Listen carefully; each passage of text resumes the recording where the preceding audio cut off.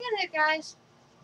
As you know, it's Monday of October till Halloween, tell ghost stories, and this is part three.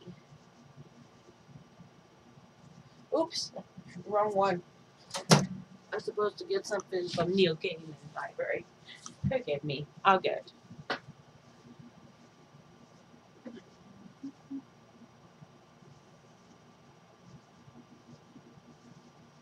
I love Halloween.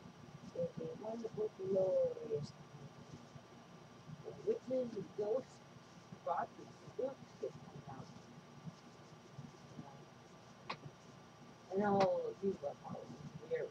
A candy. B costumes. That's strange. This douche disappeared. Give me a minute, I'm gonna find it. Right.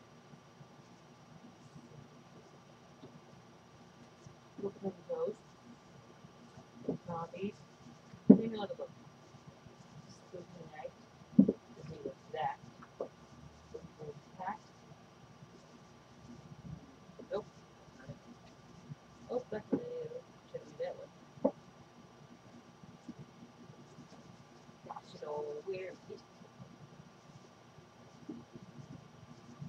Right. Please don't make don't hit the library, but I went saving this for a special treat for all of you. Here's this. Wheat, baby. Found it. Now this is one of the known child stories that Neil Gaiman wrote. When, let's see, it's called The Wolves in the Wall. And believe me, I loved this story when I first got it. And now, guys, enjoy the scares. It's be a long story. Lucy walked around the house. Inside the house, everything was quiet. Her mother was putting homemade jam in pots. Her father was out on his job playing the tuba. Her brother was in the living room playing video games. Lucy heard noise. The noise was coming from inside the wall. There were hustling noises, bustling noises. There were creaking, I think, carpety noises. There were sneaky, creepy, crumbling noises. Lucy knew what kind of thing made noises, like in the wall, the big old house, and she went told her mother. And there are wolves in the wall. But Lucy said to her mother, I can hear them. No, said her mother. There are no wolves in the wall. You must be hearing mice, I suppose. Wolves, said Lucy. I'm sure it's not wolves, said her mother. Well, you know they say if the wolves come up, then it's all over. What all over? asked Lucy. It, said her mother. Everyone knows that. Lucy picked up her pig puppet dog that she had since she was a little tiny baby. I don't think it sounds like a mice, she said to her pig puppet. In the middle of the night, when everything was still, she was heard clawing, growling, nibbling, and. She could hear wolves in the wall plotting their woofy plots, hatching their woofy schemes. In the day, Lucy felt eyes upon her, watching her from every corner.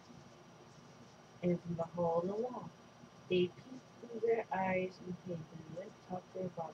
There was in the wall, she told him. I don't think there are, told her. You have override imagination. Perhaps in the noise you heard from rats. Sometimes you get rats in big houses like this. It's wolves. I can feel them in my tummy. And Pig probably thinks it's wolves too. Well, you can tell your beginner father said. Why am I asking you to tell her anything? She's just a puppet. Lucy patted Pig puppet so hard she wouldn't be up in it. Anyway, you know what they say about wolves, said her father. If a wolf comes out, it's all over. Who says that? asked Lucy. People. Everybody knows that, said her father, and he went back to practicing his tuba. She was drawn she was drawing a picture when she heard the noise again. From Finneran for resting in the woods. Yeah, what's the your brother? Bats, he says. You think it's you think it's bats? No. I think you are. He laughed a long time at own joke after it had no particularly good one. I am not a bat, said Lucy.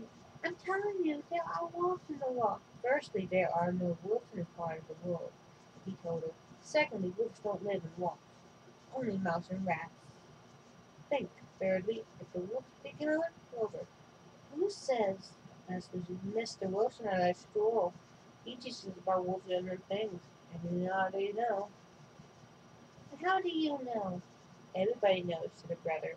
And he went back to his homework. Next day, noises were louder. We have something to something about those rats, said her mother. Pesky rats, said her father. I'll call someone up. It's bats! I know it's bats, said her brother happily. I shall ensure to sleep with my neck and exposed tonight in case they come along then. They bite me, I shall be able to fly in a coffin, never have to go to school in the daylight again. But Lucy did not think it was mice or rats or bats. She shook her head in sadness, but ignored it and teeth and kissed her mother and father and took herself to bed. Then they all huffed away, no noise that night. I don't like it, said Lucy It's too. But soon enough she closed her eyes and in the middle of the night there was a ho yowling, bumbling and bumping and then the wolves came on the wall. Ah, I remember fun. Oh no, shouted her mother. The wolves are coming of the wall, shouted her father, picking up and picking up her and running upstairs with her and the and the stupid son. It's all over, shouted her brother and fled down the stairs beside them. They finally went out backward into the garden. They huddled up at the bottom of the garden bed. It's gone, everything in their house Back in house, they knew the wolves were watching their TV, eating their food in the pantry, and dancing, wolves dancing street and downstairs. We should go live in the Arctic Circle, said Lucy, where the houses are made of walls of ice and snow. There's nothing but polar bears and seals While the wolves out of the air, there's nothing else you can do. Humph, said Lucy. We should go live in the Sahara Desert where the walls are covered in pits and silk and fluff and hot linen. There's nothing but camels and desert foxes for miles. Bah, said Lucy. I think we should go and live in outer space. We could live in orbit, space station the walls and lights in the blink and the flash melting the floating skippers. But no, we're not floating skippers. Outside space things. They have all legs, except for Sups and Cups and who don't have legs at all, but they're friendly. I don't want to live anywhere else. That is, that isn't my house, said Lucy. I said, I left my pink puppy behind. We can get you a new one. Wherever we go, then let's get some sleep. It was chilly that night in the garden, Lucy missed her pink puppy. She'll be all alone and I have to go to the wolves. There could be dreadful things to her. So Lucy crept back into the garden, quickly did a mouse, slipped back the door into the house, if you stand in a little hall in the back of the house, and she heard some wolves coming down the stairs, then had been eating jam and toast and too. They come back and uh, where could she go? Where could she go? Then quick like a flick of the wing of her bath, she slipped into the wall. She crept through the house, and inside through the door started by the middle, and into the wall to her bedroom.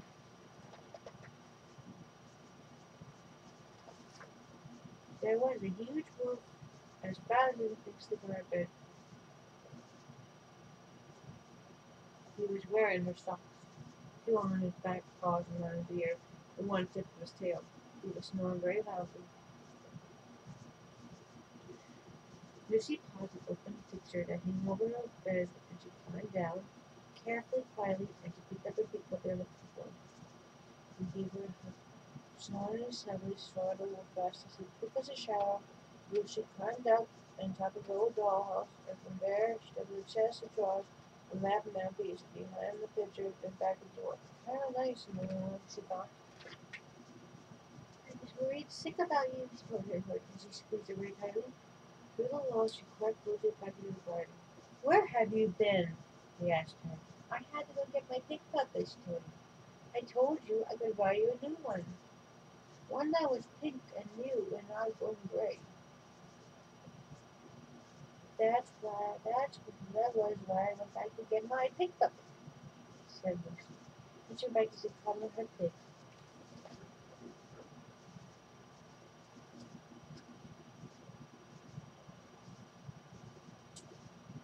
Hmm.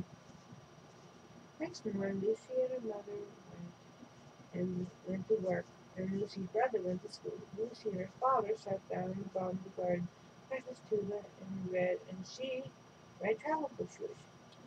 We could all go live in desert islands, her father told them all that evening over dinner Hanover to run drive a little apple pie meadow Lucy's mom brought from them. She got back from.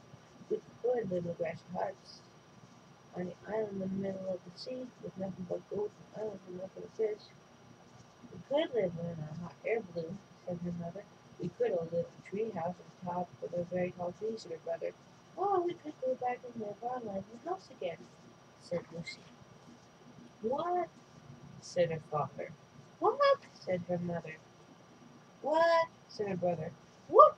said the queen of Malaysia, who has dropped out, who has dropped the help of the garden. Well, said Lucy, there's a lot of space in the loft of the house, and at least it isn't cold there. What about the wolves? asked her father. They're not in, in the house, not in the loft.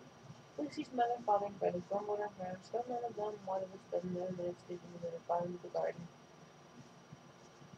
They tried sleeping in the shed by smelting nuts and lawnmowers and they fertilized the rubbles. And they crept up back the steps to the door and into the back wall and to the wall. You must be very quiet, said Lucy. We'll the sustenance and no one could hear them. The family crept through the wall of the house, peeking out the eye holes thinking they cracked things and through the cracks of things. They would move like TV's popcorn, they turn on TV up so loud as they would go. They spilled popcorn all over the floor, they stuck the little slices of toast and jam. They whoops dashing upstairs, and they would whoops flying down the banister. And the whoops put on they had made them sleep in the wall. And in the middle of the night, Excuse me. Be right back. Something's creaking and meeking.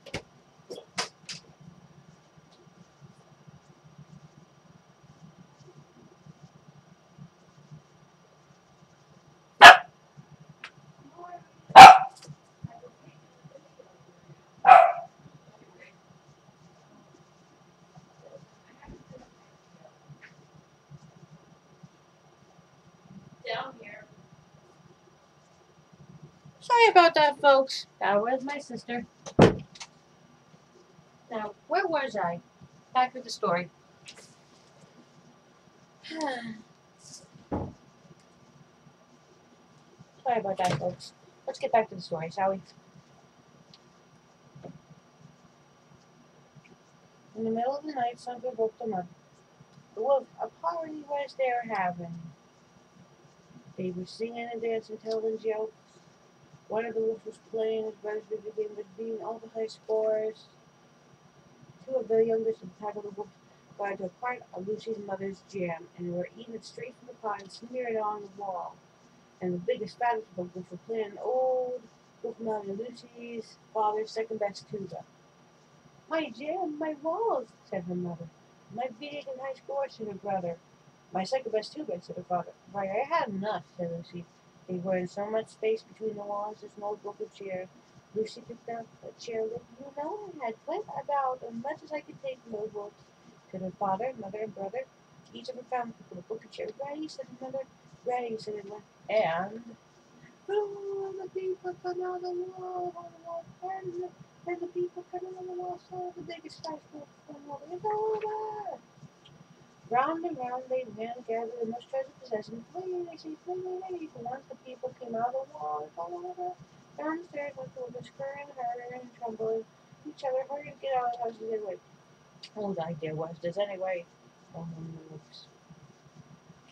And the wolves ran, ran, ran, and they ran, didn't stop running until they got somewhere and there would be any people in the wall.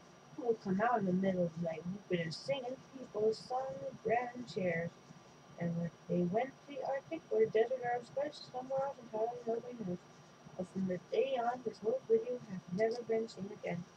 It took several days of cleaning to make the house look anything like this before, which came out of the wall. But everything, everything went back the way it had been, except for Lucy's father's second best tutor, which was playing in selling handouses. So Lucy and her father sold the second best of silver food, instead which she had always wanted. And everything went back to normal. Noticed something funny. She heard the rustling, scratching, picking in the old house. Then one night she heard a noise that sounded exactly like an elephant trying not to sneeze. She went to get her people. You think I should I should tell the rest of them? I said, Dutch, we've had elephants living in the lot of the house. I'm sure they'll find out eventually, said Pig Puppet Lucy. And they did. Uh-uh. I hope you guys enjoyed. Sorry about the quick interruption, but you know how they say, family that lives together stays together. In any case, I must go, everyone. So happy Halloween!